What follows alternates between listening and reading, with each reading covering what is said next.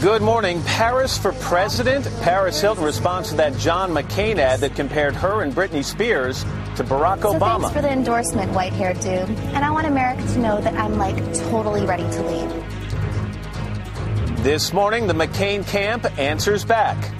Hacked. The government reports more than 41 million credit and debit card numbers have been breached in what's believed to be the largest identity theft case ever prosecuted.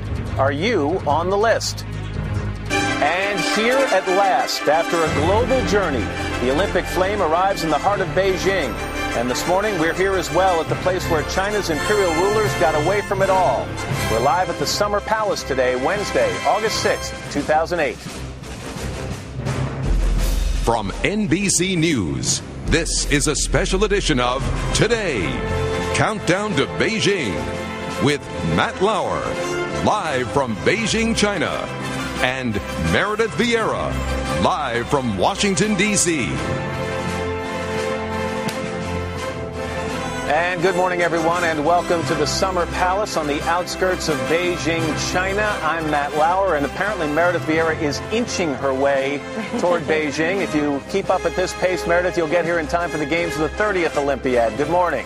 Hey, good morning to you, Matt. Listen, bags packed, ready to go, and I understand that the action is heating up there already, isn't it? You know, it's getting exciting now with the Olympic torch arriving in the heart of Beijing today. People are getting very excited indeed. And China's favorite son, Yao Ming, carried the torch for a little while, actually carried it in, in, in Tiananmen Square.